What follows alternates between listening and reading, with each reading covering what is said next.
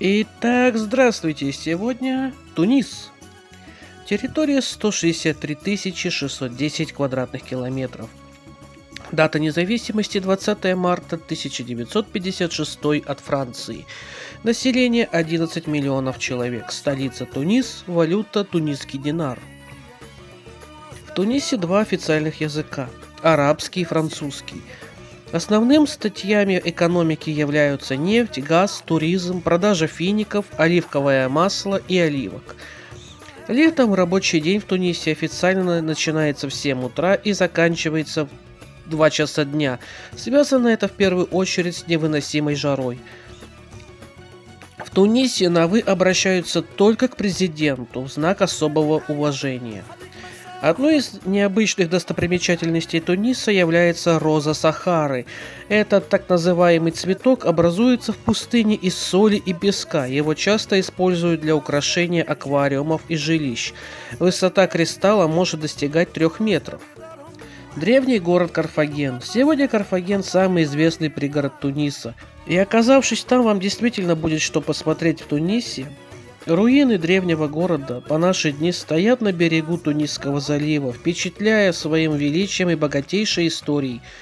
До наших дней, к сожалению, ученым-историкам так и не удалось найти достаточно информации о происхождении Карфагена. Но на окрестных территориях продолжаются масштабные раскопки – Национальный музей Бордо, Тунисский музей Бордо – главный музей древности, куда более сотни лет завозятся уникальные ценные находки, добытые в процессе археологических раскопок по всей стране. Экспозиции музей представляет собой богатейшее собрание римских мозаик и других артефактов, отражающие историю цивилизации в Тунисе, насчитывающие более трех тысяч лет – Сейчас там представлено более трех сотен мозаик, обширная коллекция мраморных статуй, старинная керамика, надгробия жрецов, терракотовые статуи и многое другое. Пещерный город Матмата. Более полутора тысячелетий в рукотворных меловых пещерах, вырытых в склонах местных гор, живут племена берберов. Эти необычные одна-двухэтажные жилища представляют большой интерес для посетителей – но такой способ жизни в пустыне не прихоть, а единственный способ уберечься от палящего зноя африканского солнца и от небывалых перепадов температуры в течение суток. Так, при жаре в 50 градусов, внутри пещеры сохраняются комфортные 20-23 градуса. Кактусы в человеческий рост совсем не диковинка для Туниса. Они здесь растут повсеместно и многим жителям служат в качестве заборов, а также их плоды используются в кулинарии. Перелезть через такую ограду не каждый решится.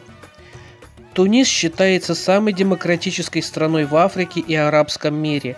Здесь ислам суннитского толка. Но девушки, если не консервативные, то могут спокойно ходить без покрытой головы или в купальнике на пляже. Также, хоть в стране сухой закон, но он не распространяется на туристов, а местные могут пить ликер табарин. Также в плане транспорта, интернета и мобильной связи страну сравнивают с европейскими странами. Хабиб Бургиба, первый президент страны, правил с 1957 по 1987. До сих пор почитается в Тунисе как герой и самый лучший политик. Он вел больше нейтральную политику, но проводил полусоциалистические реформы.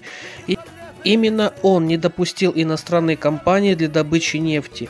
Осуществил социальные реформы, направленные на модернизацию здравоохранения и образования, ликвидацию неграмотности, расширение прав женщин, дал им право на развод, запретил многоженство и установил минимальный брачный возраст в 17 лет – Публично осуждал ношение паранджи, называл ее ненавистной тряпкой.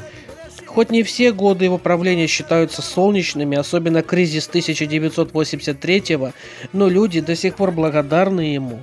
Умер в 2000 году, похоронен в мавзолее в городе Монастир. Ну что ж, надеюсь видео понравилось, а если нет, то ставьте дизлайк, я ж не обижаюсь. Все, пока-пока.